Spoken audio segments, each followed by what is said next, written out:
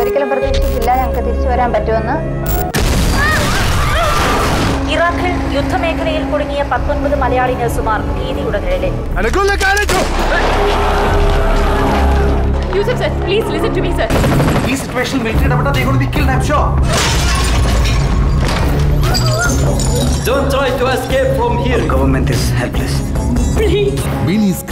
ആദ്യമായി I'm taking responsibility Iraq യുദ്ധഭൂമിയിൽ കുടുങ്ങിപ്പോയ ഇന്ത്യൻ നഴ്സുമാരുടെ കഥ. നിങ്ങളുടെ കരച്ചിൽ അയാൾ കേൾക്കണം.